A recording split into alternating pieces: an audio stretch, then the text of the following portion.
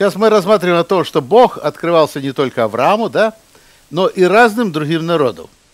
И мы знаем из послания к римлянам в первых главах, да, тоже говорится, что другие народы тоже получали откровение от Бога. И даже если они не знают Тору, то все равно, рассматривая через Божье творение, они имеют понятие о Боге. Поэтому мы сейчас говорили о некоторых народах.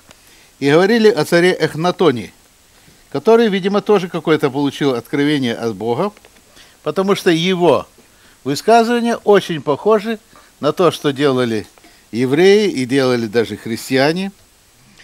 И мы переходим к следующему интересному моменту. Э, во времена фараона Эхнатона было также понятие о боге Осирисе, который бог умирающий, да, и бог воскрешающий. И еще, помните, себя говорил, да, что умерший, воскресший.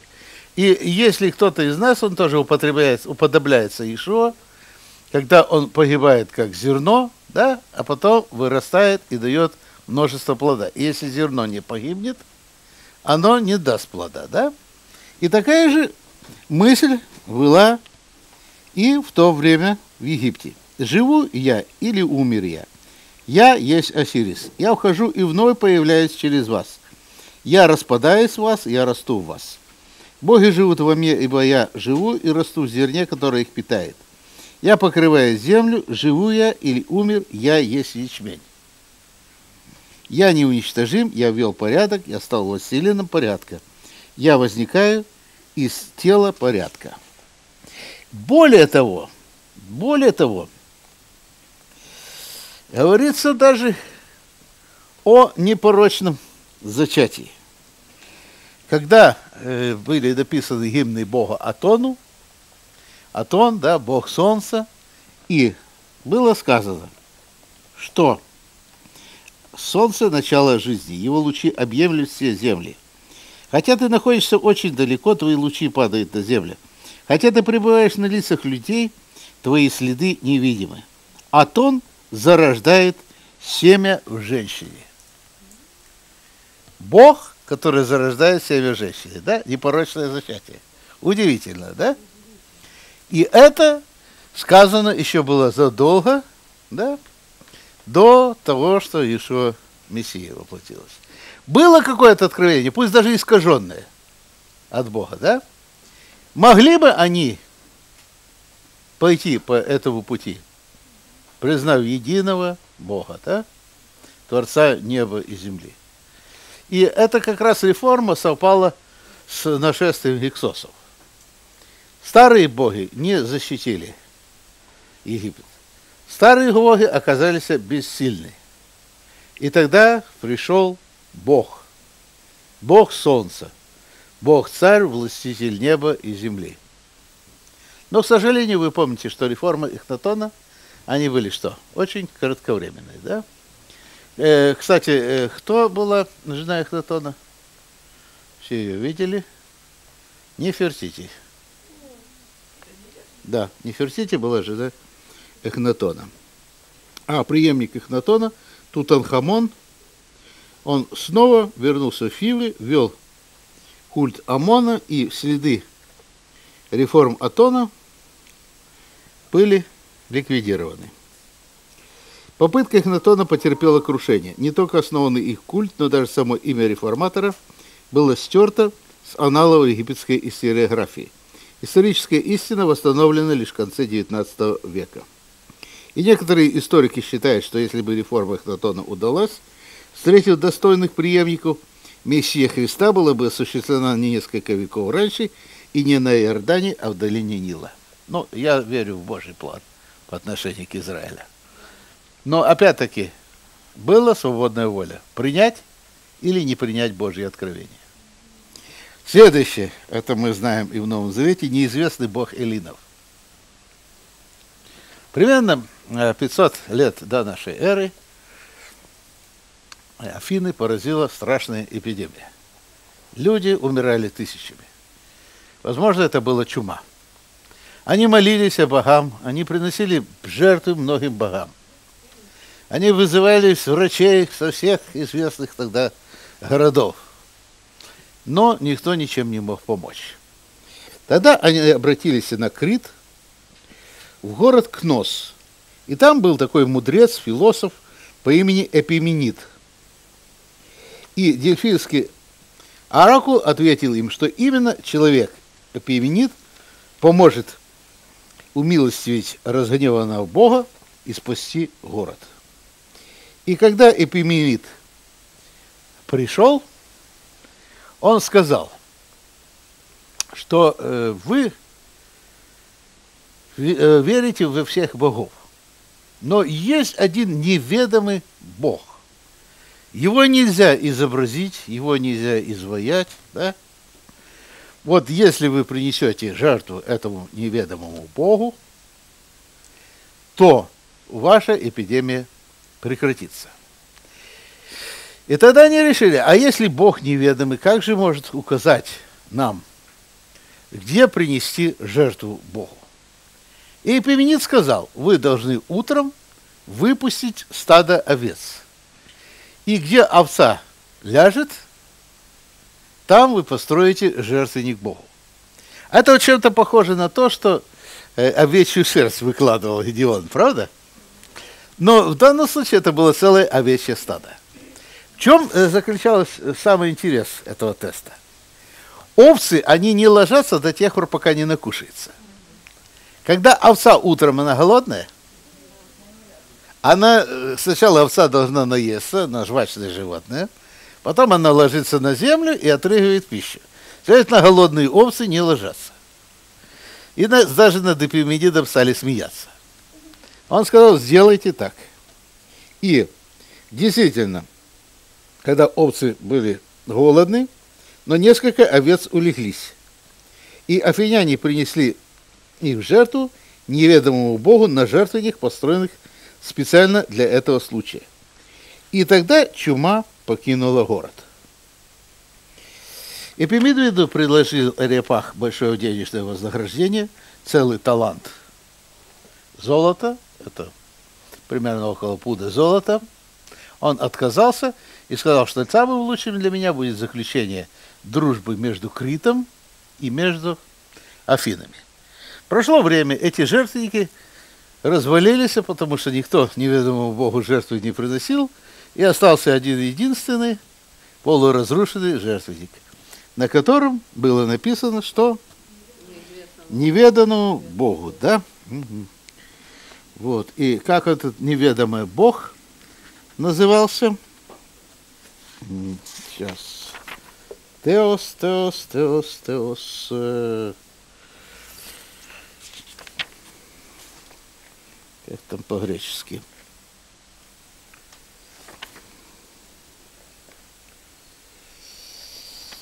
Ну, теос агностикус, типа такого. Да, теос агностис. Агности, да, это неизвестный. Неизвестному Богу. Прошло еще какое-то время, и вот еще один еврей, да, пришел в Афины. Он был вдохновлен Богом и сказал, что, афиняне, что есть среди вас, это Деяние, 17 глава, да, проходя, осматривая ваши святыни, я нашел и жертвенник, на котором написано неведомому Богу. Этого-то, который вы не знаете, чтите и проповедую вам. Бог, сотворивший мир и все, что в нем, он, будучи Господом неба и земли, в нерукотворных храмах живет и не требует служения рук человеческого. От одной крови произвел весь род человеческий для обитания по всему лицу земли, назначив предопределенные времена и пределы их обитания, дабы они искали Бога, не ощутят ли его и не найдут ли, хотя он недалеко от каждого из нас, ибо мы им движемся, мы существуем, и, как некоторые из ваших стихотворцев говорят, мы его род. Да? И вы знаете, кого он цитирует? Эпимемида. Прошло 500 лет. Это не просто какой-то невежественный еврей пришел, увидел памятник неведомому Богу. Он знал, что Эпименид критянин. И он цитирует даже еще другое высказывание Эпименида. Помните Титу? Первая глава, 12 э, по 15 стих. Из них же самих один стихотворец, один стихотворец это то, тот же самый эпименит, который сказал моего и урод, да? Один стихотворец сказал, критяне всегда лжецы, злые звери, звери и утробы ленивые. Свидетельство – это справедливо. Вот так вот.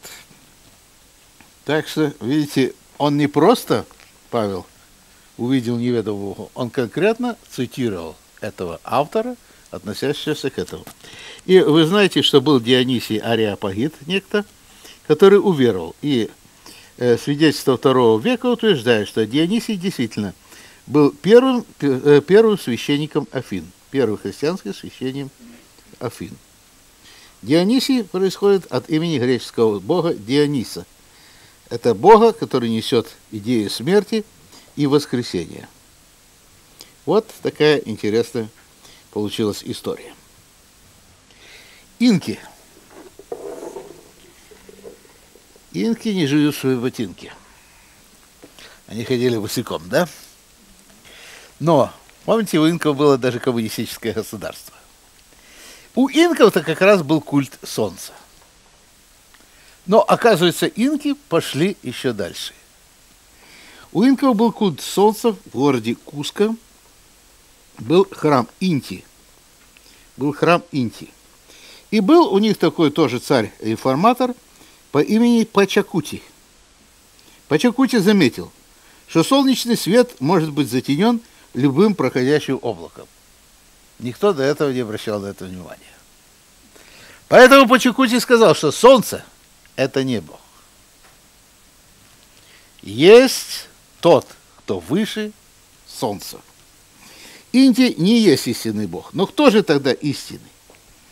Как мог язычник инка, не ведущий иудео-христианского просветления, найти решение этой задачи? И он вспомнил, что в традиции инков есть память о Виракоче. Виракоче – это Господь Всемогущий, Творец всего.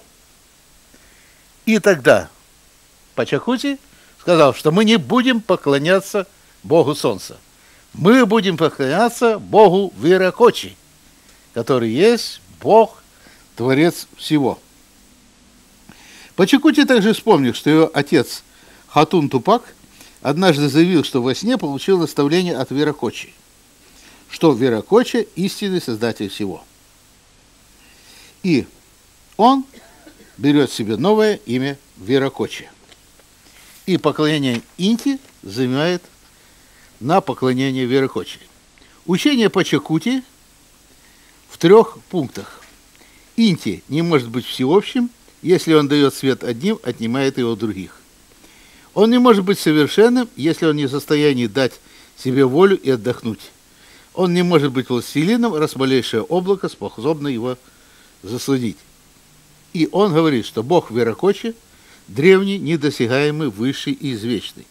Не нужны ему грубые утешения супруги. Когда пожелает, он является триединым.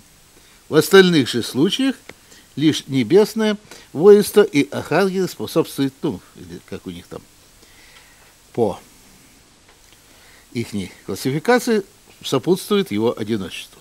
Итак, Бог Веракочи древний, недосягаемый, высший и извечный. Ему не нужны грубые утешения супруги, и когда пожелает, он является триединым. Круто, товарищи. Еще ни одного европейца инка не было. Европейцы пришли через сто лет. Дальше. Э, значит, он сотворил все народы, равно как и всех духов, своим словом. Не знаю, может, какой-то еврей древний затесался туда. Вот. И э, просветил товарища по Чакуте, не знаю. Ибо, да, он владыка судьбы человека, питающий его, предопределяющий его сроки. Он истинная суть жизни – ибо он согревает людей с помощью сотворенного ими сына Пунчал, солнечного диска, который отличается от самого Солнца. Он источник покоя и порядка, он сам по себе благословение и питает жалость к ничтожеству людей. Он единый судит их и прощает, и дает им силу бороться со злом в них самих. Зло не вне людей. Зло где? В них самих. Какие замечательные учения, правда? Это люди, которые, в общем-то, не имели никакой практической связи с старым светом, правда, как говорят? Вот. Почекути собрал собор и потребовал, что все молитвы от этого дня должны быть адресованы только Веракочи. Следствием этого собора явилось сочиненное царем Пачекути почтительных гимнов Веракочи. И часть священнослужителей реагировали крайне враждебно. Понятное дело. Началась вражда, которая позднее закончилась гражданской войной, и потом началось опять язычество, начали приносить человеческие жертвы, и через сто лет они были завоеваны пришельцами с Востока, то есть европейцами. В Бирме есть такое племя Карены, которые живут в 250 милях от Арангуна. И Карены, однажды к ним пришел некто, путешественник, и он оказался белый. До этого они белых людей не видели. И они приняли белого брата. Они приняли белого брата. И этот, этот человек увидел у них книгу. И в этой книге были записаны очень интересные вещи. Там рассказано о некотором божестве Ива. Ива – это Бог истины, Бог живой, Он бессмертен, жизнь его длина, проходит вечность, и не умирает он. Проходит другая, не умирает он. Он совершенен в своих достоинствах, за вечностью следует вечность, не умирает он. Кто сотворил мир с самого начала? Ива сотворил мир с самого начала. Ива расставил все по своим местам. Дальше это все в стихотворном виде. А дальше вот что интересно. Изначально построил мир Ива. Он определил, что есть и что пить. Он создал плод испытания, и указания его были точны. Муколи, ну так как дьявол, подверг соблазну двух людей. Из-за него они отведали плод от дерева испытания, не послушались они, не поверили Ива, и, поев плода испытания, беззащитными стали перед болезнями, старостью и смертью. Это племя, которое жило изолировано, которым не приходили ни мессианские, э, ни христианские, никакие другие миссионеры. Вот. И дальше говорится о согрешении, но что сам Ива придет и будет, и будет искупление людям. Не молитесь идолам и священникам, не дадут вам никаких выгод эти молитвы. Тогда как грехи ваши возрастут стократно. Святой обязанностью является уважение родителям. Дети и внуки, почитайте отца и мать и благовейте перед ними. Смотрите против родителей страшное преступление. О, дети и внуки, любите Ива, и не так, чтобы упоминать его имя в суе. Если вы лишь произнесете его имя в суе, он уходит от вас все дальше и дальше. О, дети и внуки, не ищите удовольствия в спорах и скандалах, но любите друг друга. Ива глядит на нас с небес. Если мы не любим друг друга, это значит, мы не любим Ива. Книга народа, который вообще не имел никаких контактов с миссионерами. Белый человек приходит, открывает эту книгу и ему читает такие удивительные вещи. Коряну, которые нарушили закон, предлагается раскаяться и уповать на милость Ива. О, дети и внуки, если мы раскаемся в наших грехах и прекратим творить зло, удерживая наши страсти, и станем молиться Ива, он снова подарит нам свое милосердие. Если у Ива не будет для нас прощения, никто не сможет его нам дать. Он единый, кто нас спасет, Ива. О, дети и внуки, молитесь Ива неустанно ночью и днем. Заканчивается эта книга.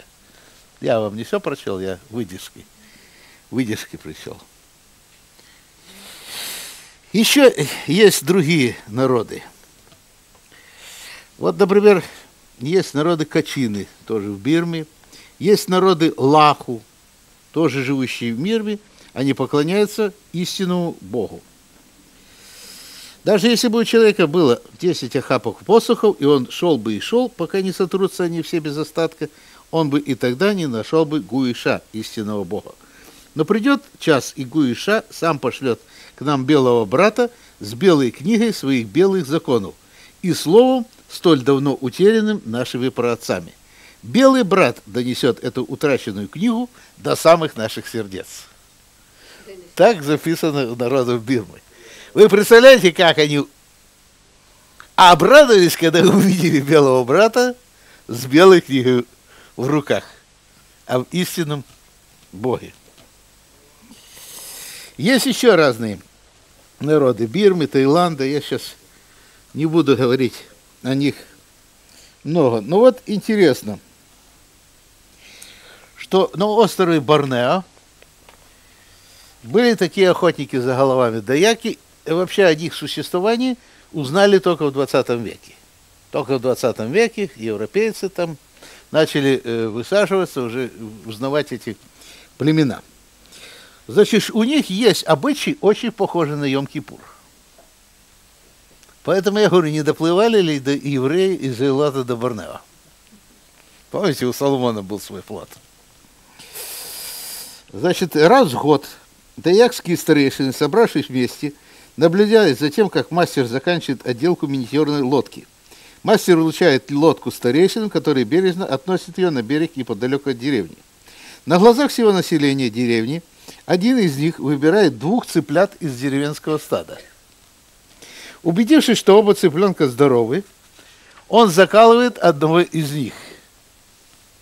Это похоже на празднование Йом-Кипур, как делают вращение курицы, да, тоже и окропляет его кровью берег реки. Второго цыпленка, как говорят, цыпленка отпущения, да?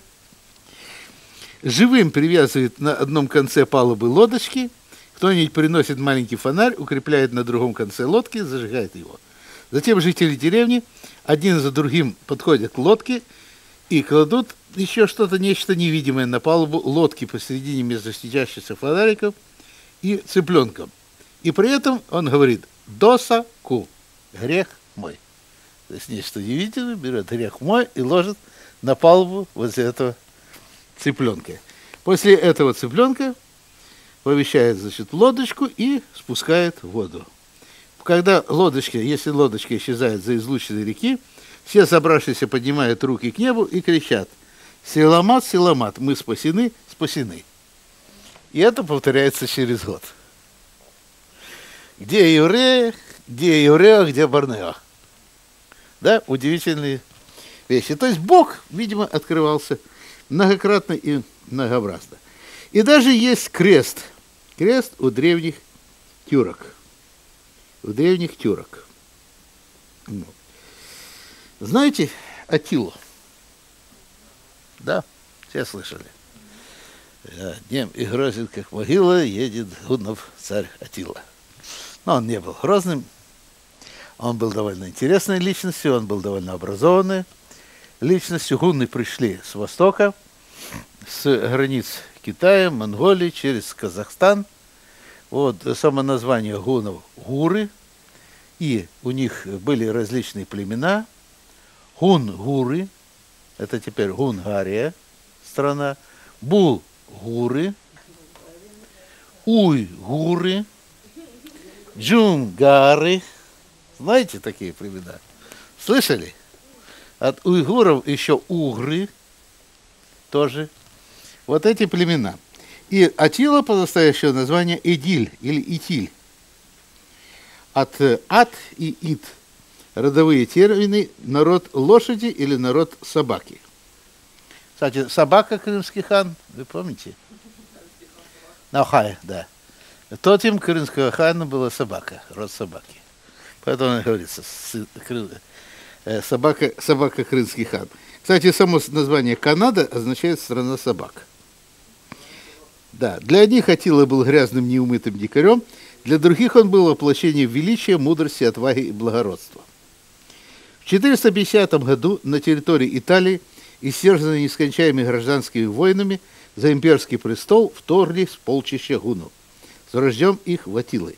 Подобно урагану они проходили по земле Западной Римской империи, сея смерть и разрушение. И согласно книге Откровение, 8 глава, 10-12 стих, многие считали, что это говорится о гуннах и о наказании отступившей церкви в виде гуну. Но что интересно, символом на знамениях Аку, а, а, а, символом на знамени Атилы что был?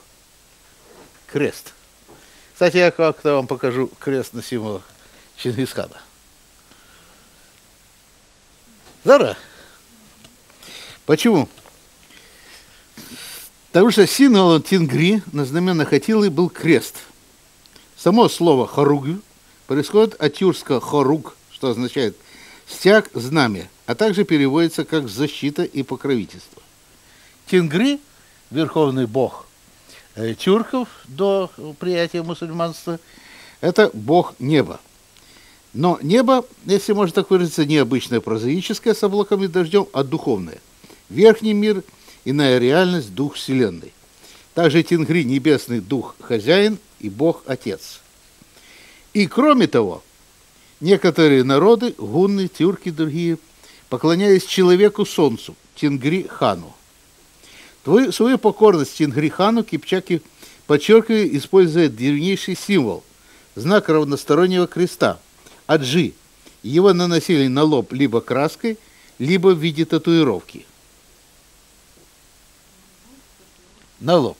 Кстати, сейчас э, сохранилась маленькая народность, живущая в одной деревне в Японии, которая, возможно, произошла от евреев-христиан, которые были в Японии.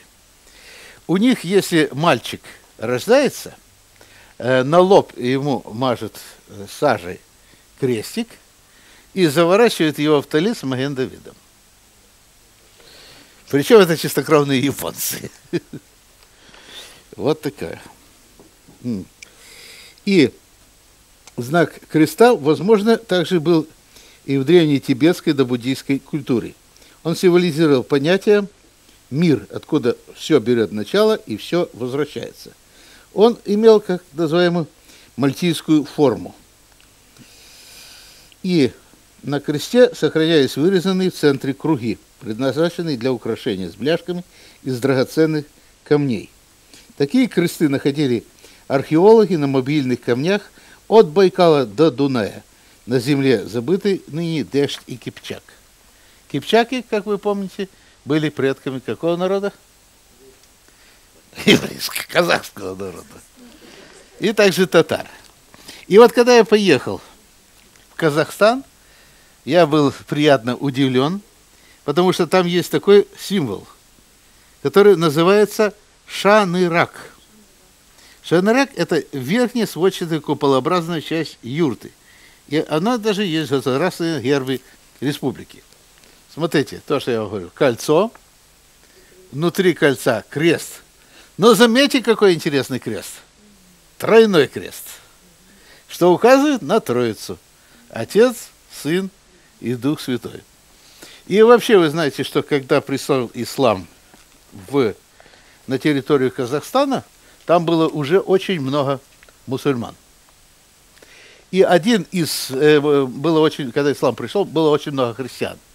Христиан нестарианского вероисповедания. И э, э, один из э, правителей заставил носить специально мужчин одежду – с вот таким вот вырезом, типа запашного халата. Но чтобы обязательно была видна грудь. Для чего? Чтобы они не носили крест. И если многие говорят, что да, я не знаю, что там в Средней Азии делалось в Узбекистане, Таджикистане, но народ Казахстана и первая их религия это было христианство. Первая их настоящая религия. Хотя и тогда, и по сей день, естественно, там сохраняется очень много языческого. Но знаете, в нашем христианстве тоже очень много языческого сохраняется и по сей день, правда?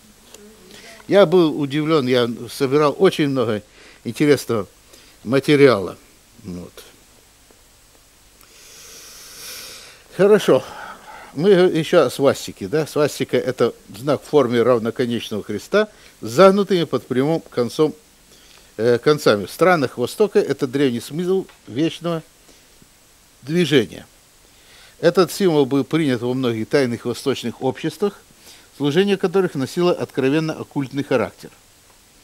И 11 февраля 1929 года когда правительство Муссолини провозглашает создание папского государства Ватикан в Риме, в Латеранском дворце за одним столом сидят папский кардинал с крестом и секретарь Муссолини со свастикой.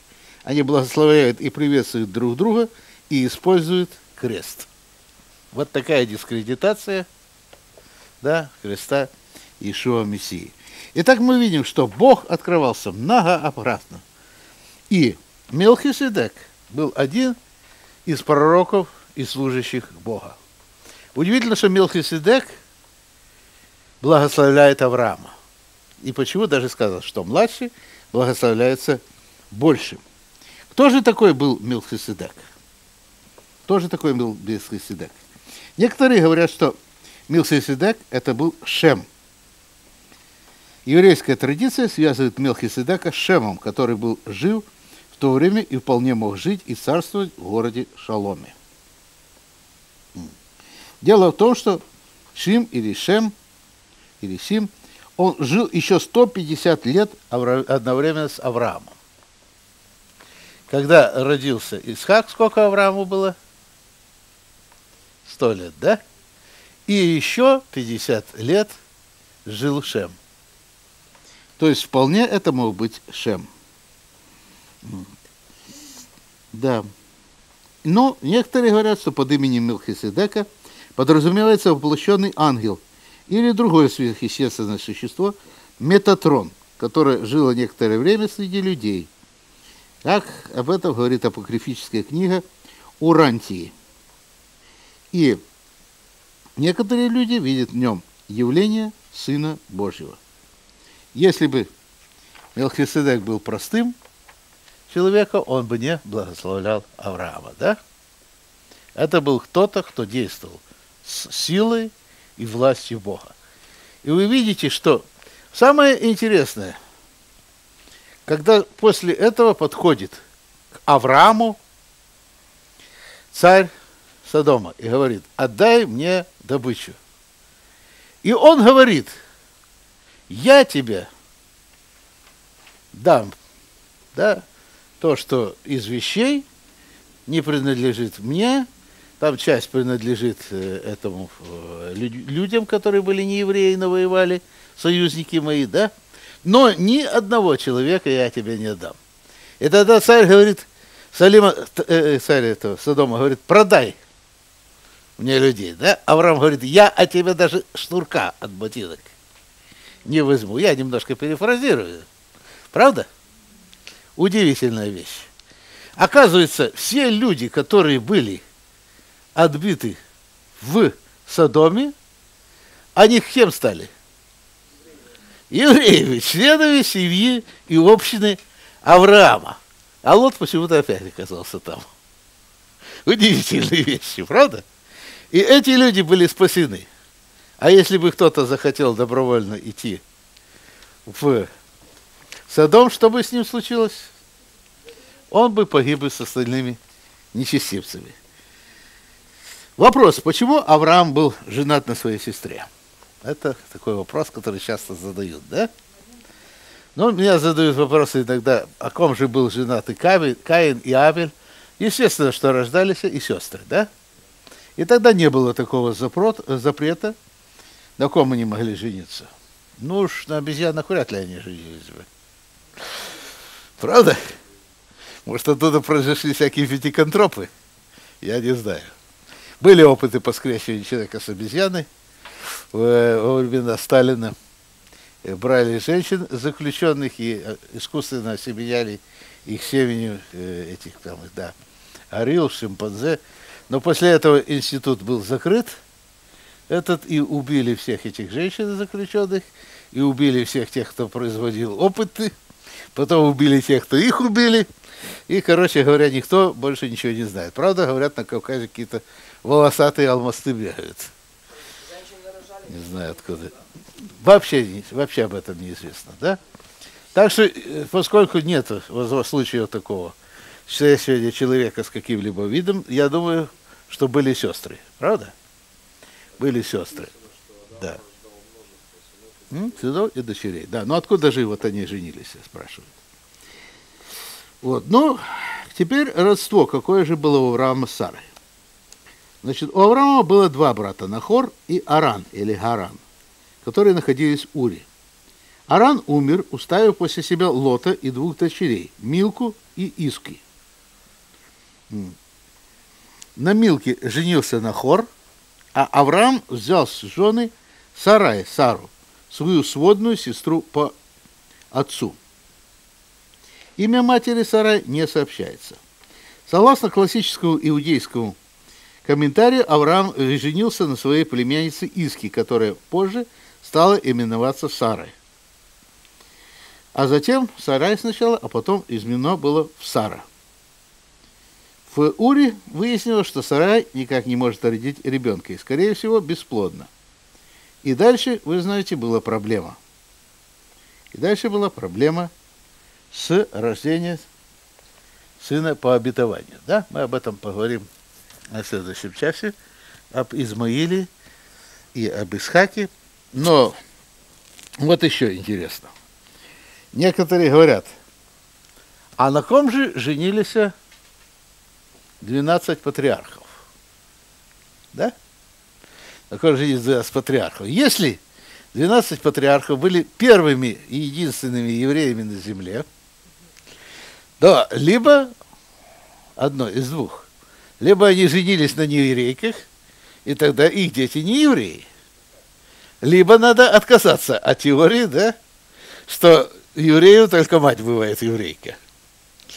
Но представьте себе, даже до такое нарушение идут раввины. Лучше жениться на сестрах. Да? И они придумали, что у каждого была своя сестра. Вот. Да, Шимон, ну, в духовном смысле. Шимон женился на своей сестре Дине. Вот. Помните, на ком женился Игуда? На своей невестке Тамаре, откуда у него еще другие – дети взялись, которые не могли, помните, иметь э, наследника, в общем, от Тамар. Яков женился на двух сестрах, как вы знаете, тоже, что было запрещено, да, в Торе. Но Якова просто обманули, его подставили. Поэтому Яков, Яков не виноват, правда? Яков не виноват. Но вы знаете, что во всех случаях когда было много жен, всегда возникали какие-то проблемы. Больше всего проблем было у кого? У Соломона. А, у Соломона. Он когда уже посмотрел, говорит, ни одной женщины. Э, мужиков я еще доходил праведных, изредка. Говорит. Но женщины ни одной не видел. Почитаешь его экклезиаста, так и жить не хочется. А как вы думаете, сколько лет было этому человеку, который написал экклезиаст? Представил, 52 года. Соломон умер в возрасте не старше 60 лет. Да. По преданию, по преданию он взошел, он взошел на престол, когда ему было 12 лет. Помните эту историю с царем Давидом? Да, когда сначала хотел его старший брат стать царем, и уже даже собрал всех братьев, чтобы поубивать их. Вот. И в это время Мама побежала к первосвященнику и быстренько помазали Соломона. Соломону тогда было 12 лет. Пять лет э, царствовал Давид совместно с Соломоном, ну, как сказать, был регентом. регентом. И э, взошел на престол, стал быть, Соломон э, в возрасте, сколько? 12 плюс 5, 17 лет. Сказано, что Соломон царствовал 40 лет. Сколько в возрасте? Какого он умер? 57 лет. То есть не старше 60 лет. Хотя нам кажется, что Соломон очень такой утомленный был долгой и мучительной жизнью. Он был утомлен большим количеством жен. Вот. Да, по этой причине Магомед сказал, сказал, что больше четырех жен не надо иметь. Но самого у него было, правда, больше, по-моему, 11, да? Или это у Давида 11 жен было. Да, было значительно больше. Но вообще у евреев примерно с X века нашей эры вышло постановление, Рав Гершом издал постановление, что можно иметь только одну жену, да? Возникает такой вопрос, что делать с лишними женами, которые э, приезжают, ну, например, из Эфиопии, из Аравии или из других стран. Вот. Значит, израильский закон трактует, израильский закон трактует это так. Да. Что э, раз э, это твои жены, то ты уже должен их соблюдать. Если они хотят отделиться, уйти, развод дать тебя, ну, они могут отделиться. Но так надо их за ними присматривать уже до конца жизни. Но новых жен иметь не надо, да? Вот такая же проблема возникала с первыми христианами. Потому что люди уверовали, становились верующие в Иешуа Мессии, да, а уже по христианской традиции, и уже Иешуа точно говорил, сколько жен надо иметь человеку? Одну. Что же делать с остальными женами? Да? Один миссионер пришел э, к одному вождю племени, проповедовал ему Евангелие, да? Вот, все такое, в общем, все крестился, ну, говорит этому царю негритянскому э, проповедник, ну, ты знаешь, говорит, у тебя одна проблема есть, у тебя 10 жен. Ништяк, говорит. На следующий день приходит говорит, все, Падре, вопрос решен. А где остальные жены? Секир башка им сделал, да? Но христиане такое себе позволить не могли.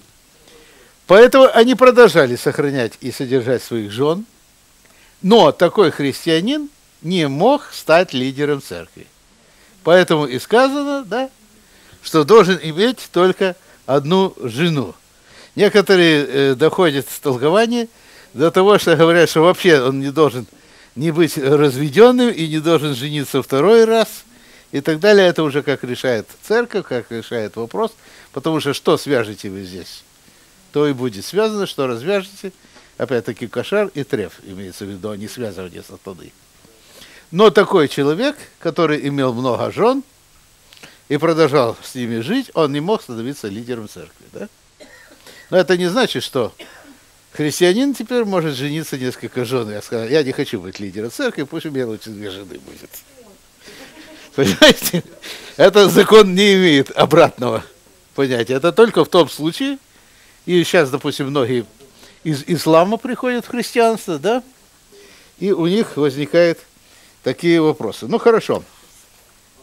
С женами мы поговорили, давайте сделаем 10 минут